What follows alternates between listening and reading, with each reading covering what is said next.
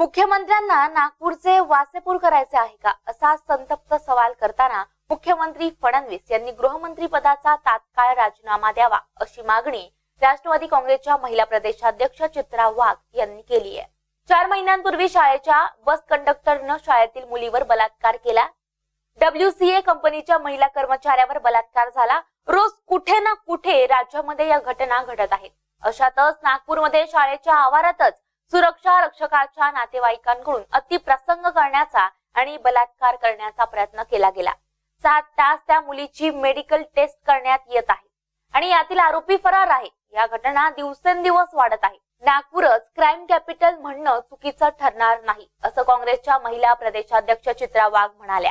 या विषयावर बोललं जातं त्यावेळी गुन्हेगारीत वाढ होतीये हे सांगण्यात मुख्यमंत्री मग्न होताना दिसत आहेत असाही आरोप चित्रा वाघ यांनी केला. अतिशय वेदनादायी अशी घटना नागपूरमध्ये घडलेली आपण बघितली की चार वर्षाच्या मुलीला शाळेच्या आवारातच सुरक्षा रक्षकाच्या नातेवाईकाकडनं तिच्यावरती अतिप्रसंग करण्यात आला तिच्यावरती बलात्कार करण्यात आला. गेले सात तास त्या मुलीची मेडिकल टेस्ट चालू होती. या घटना दिवसेंदिवस वाढताना आपल्याला दिसत आहेत नागपूरचंच जर आपण म्हणायचं तर क्राईम कॅपिटल म्हटलं तर ते चुकीचं होणार नाही. आपण बघितलं तीन महिन्यापूर्वीच एका शाळेतल्या चार बस कंडक्टरनी एका शाळेतल्या मुलीवरती बलात्कार केला. डब्ल्यू सी एल कंपनीच्या महिला कर्मचाऱ्यावरती सुद्धा सामूहिक बलात्कार झाला.